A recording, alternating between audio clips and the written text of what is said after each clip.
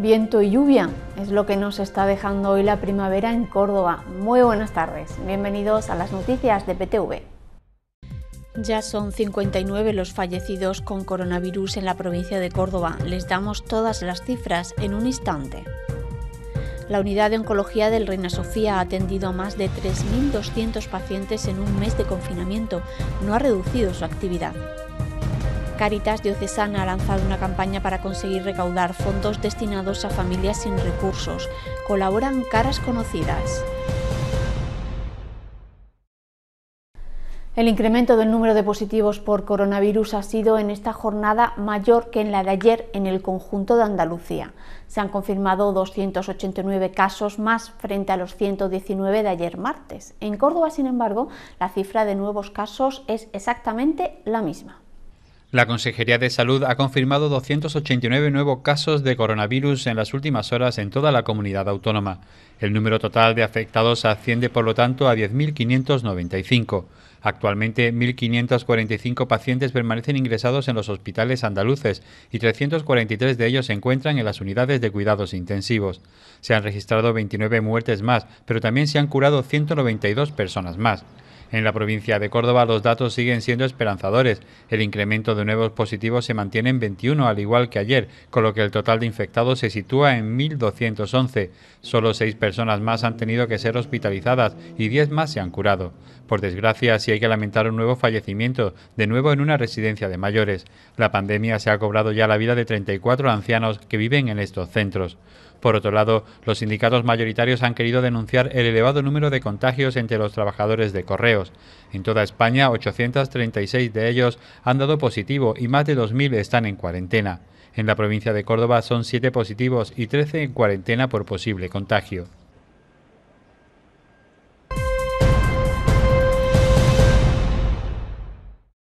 La Junta de Andalucía distribuirá 59 teléfonos móviles con posibilidad de hacer videollamadas y 14 dispositivos Wi-Fi a los 14 centros residenciales de mayores que gestiona directamente en la comunidad autónoma. Pretende así reforzar la comunicación entre los residentes y sus familiares. La Dirección General de Personas Mayores y Pensiones No Contributivas ha enviado una carta a las personas responsables de estos centros para que les cuenten qué es lo que necesitan exactamente Exactamente. Cada una de las residencias recibirá un dispositivo MIFI en los que se pueden conectar más de 30 terminales. En Córdoba, la residencia del Parque Figueroa recibirá además cinco móviles. El proyecto Acortando la Distancia cede los dispositivos móviles con una tarjeta SIM con datos y se podrán usar mientras dure el estado de alarma. Es una iniciativa sin ánimo de lucro que pretende conectar a pacientes y familiares gracias a la tecnología y no solo en centros residenciales de personas mayores, sino también en hospitales. Desde el Hospital Reina Sofía han querido mandar un mensaje de tranquilidad a los pacientes de oncología y sus familiares. Aseguran que a pesar de la situación de crisis sanitaria, la actividad no se ha reducido en esta unidad. En un mes de confinamiento han atendido a más de 3.200 personas. 3.206 personas han sido atendidas por los profesionales de la Unidad de Oncología Médica del Hospital Universitario Reina Sofía de Córdoba en el primer mes de confinamiento de pandemia por coronavirus. De ellas, 199 son nuevos pacientes. El jefe de la unidad asegura que la actividad no se ha reducido y destaca la importancia de seguir viendo los nuevos diagnósticos para poder evaluar, así como continuar revisando a quienes se encuentran en tratamiento. En las revisiones de atención presencial en consulta se reserva para los casos en los que sea imprescindible y cuando el estado del paciente lo permite se hace por teléfono. Eh, el- incluso los tratamientos orales, algunos se han podido hacer conjuntamente con las revisiones de manera telemática para que evitar que el paciente accediera al hospital y evitar así las posibilidades de, de contagio. Y según la situación y como estuvieran estas exploraciones, se ha decidido conjuntamente con los pacientes el hacer una eh, revisión presencial en el hospital o bien darle una nueva eh, cita para una revisión posterior. A la actividad de consulta se suma el trabajo en hospital de día y en la planta de hospitalización. Además, un oncólogo médico y tres residentes de la especialidad se integran en una de las unidades COVID del Hospital Provincial para apoyar la labor que realizan aquí medicina interna y enfermería. Ambos forman parte de estas unidades desde hace tres semanas. En las últimas cuatro semanas han recibido tratamiento 857 pacientes, en su mayoría en el hospital de día, y en algunas ocasiones se han enviado a casa la medicación oral. En total se han administrado 1.348 tratamientos y todo esto se hace aplicando las medidas de seguridad impuestas por el coronavirus. Obviamente con las medidas de seguridad eh, que nuestro servicio de medicina preventiva nos ha aconsejado para evitar en todo momento eh, que hubiera riesgo de contagio tanto en el hospital de día como en la sala de espera y en las consultas eh, de, de oncología médica. El doctor Aranda ha querido enviar un mensaje de tranquilidad. Por último, comentarles que estén tranquilos, eh, que estamos atendiendo eh, a los pacientes que requieren el seguimiento y el tratamiento oncológico adecuado y que eh, seguiremos evidentemente cercanos a cada uno de nuestros enfermos oncológicos. La Guardia Civil sigue en contacto con todo tipo de organizaciones sociales para colaborar en la atención urgente a personas con necesidades básicas. En la localidad de Carcaboy, por ejemplo, han colaborado en el traslado de productos alimenticios a 14 familias. Estas personas forman parte del programa de ayuda a personas más desfavorecidas de la Unión Europea y les atiende la dirección del Banco de Alimentos de la Cruz Roja. Dentro del marco de las misiones que tiene encomendadas este cuerpo de seguridad desde que se decretara el estado de alarma, está el asegurar el seguimiento, control y reparto de alimentos. Según explica la Benemérita, en estos días tan complicados intentan sobre todo mantener un contacto estrecho con las personas mayores, ya sea con reparto de alimentos, medicamentos o con cualquier otro tipo de auxilio. Casi una treintena de rostros conocidos, la mayoría de ellos de Córdoba, se han unido al vídeo de la campaña de donación por Bizum que ha realizado Cáritas Diocesana de Córdoba. Su objetivo es recaudar fondos para las familias más vulnerables y que peor lo están pasando en estos momentos. El hashtag es Tú eres el ángel de muchos.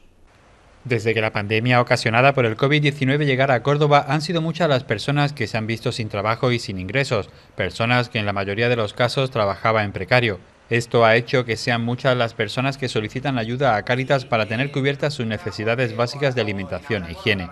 Pero para ayudar a Cáritas necesita dinero, por eso ha puesto en marcha una campaña en redes sociales con el hashtag Tú eres el ángel de muchos.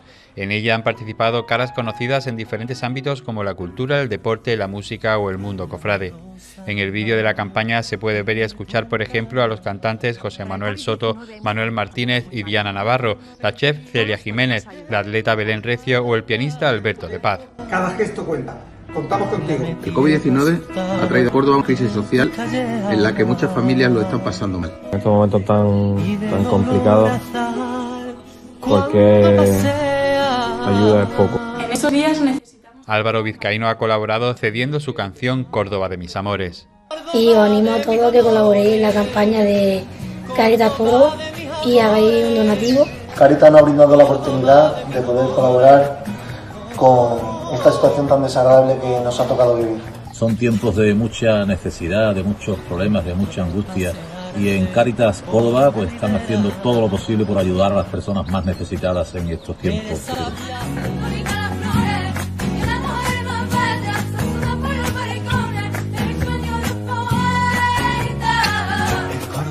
tierra judía, toreros y pintores. Varios colectivos sociales de la capital se han unido para pedir al ayuntamiento que apruebe una renta complementaria que permita que las personas más vulnerables pasen de ser receptores de ayudas a ser sujetos activos. Están difundiendo por las redes sociales un manifiesto en el que destacan que Córdoba es una ciudad castigada por el desempleo en todos los grupos de edad, una ciudad que vive las desigualdades en su día a día con familias que lo pasan mal y que necesitan de unos ingresos mínimos para poder aspirar a tener un hogar, la oportunidad de inserción social, un empleo y una vida digna. Reclaman que las instituciones pongan los recursos disponibles al servicio de las personas que más sufren para que sea posible que cambie su horizonte. Unos recursos que de no emplearse para ello, dicen, irán destinados al pago de deuda.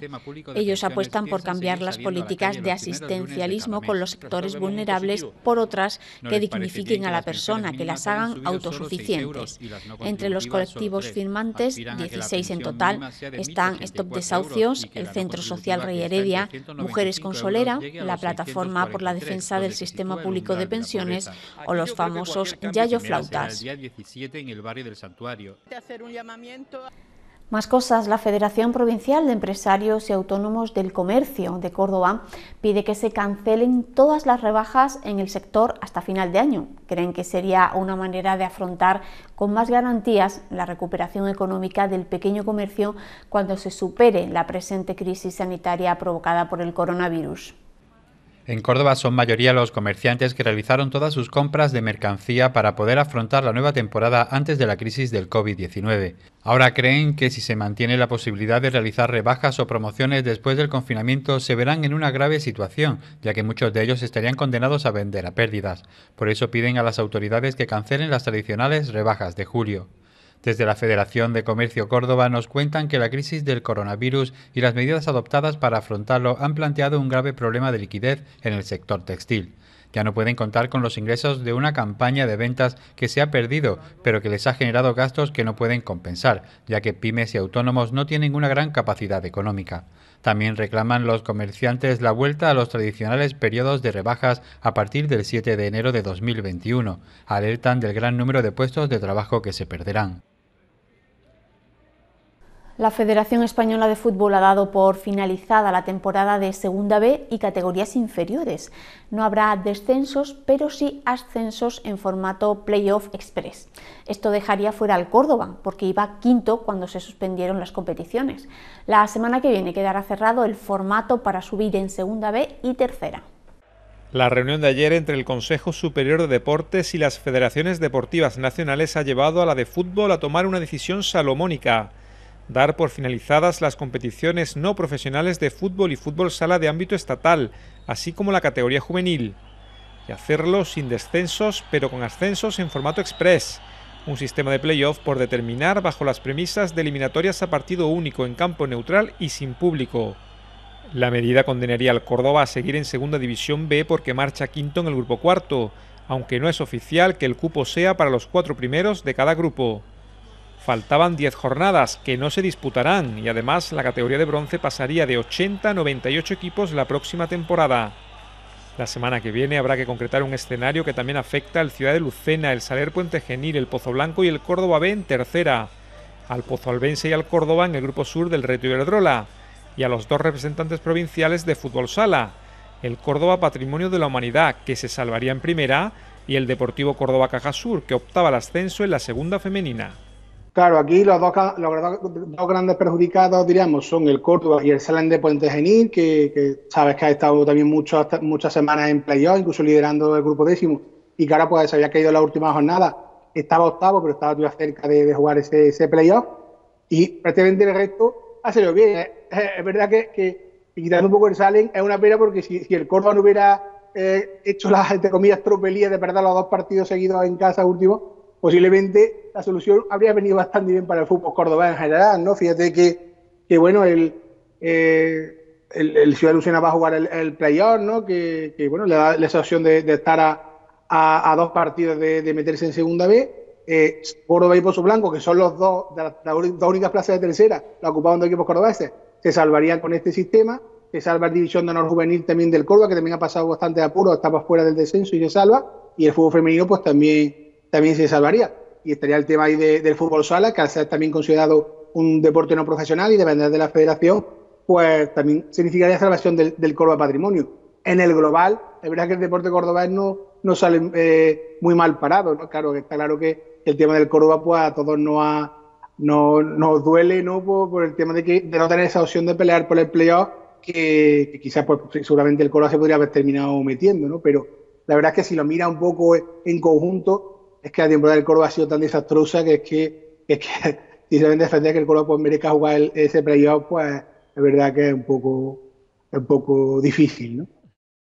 Eh, yo creo que la liga, la competición se comenzaron con unas normas y yo creo que o, bajo mi punto de vista o se debe de suspender totalmente la temporada y darla como desierta o terminarla sea como sea, pero lo que no es normal es que se empiece con unas normas y ahora mitad de temporada, porque ha pasado algo fuera de lo normal, pues se cambien las reglas y, el sistema de, ascenso pues sea otro, distinto. Pues hombre, no me agrada porque me habría gustado que se, se, terminara la temporada, como teníamos además una buena dinámica, estábamos teniendo buenos resultados y metiéndonos en un playoff y me habría gustado que se terminara. El problema es que con la situación que tenemos es difícil hacerlo bien, es muy complicado meter tantos partidos en poco tiempo. Si se alarga la temporada esta sola para la siguiente, así que yo creo que lo mejor es que tomen las soluciones más apropiadas para la situación que tenemos.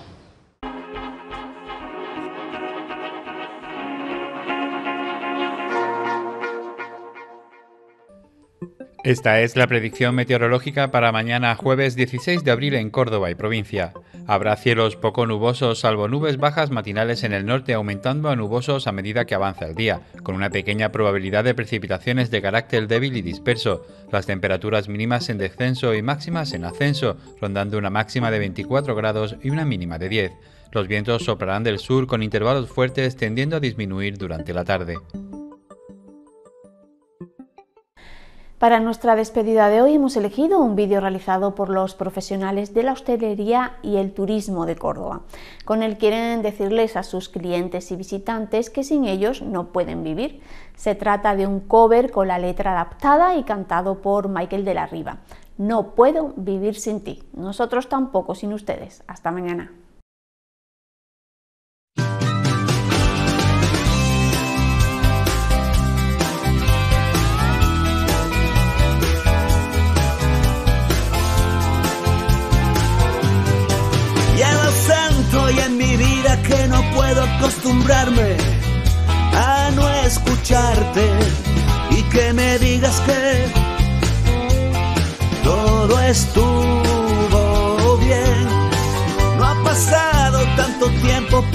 Se me está haciendo eterno y raro no verte por aquí y oyéndote reír.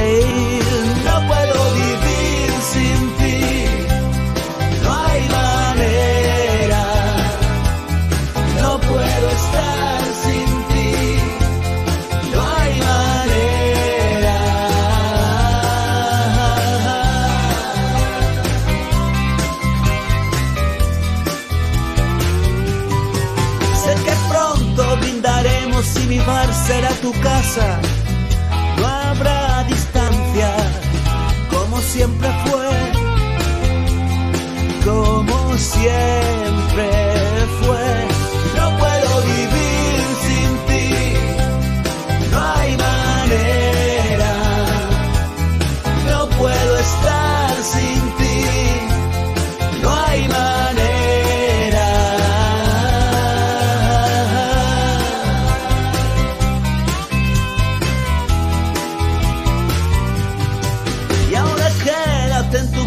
mientras yo estaré creando recetas nuevas para darte a ti lo mejor de mí.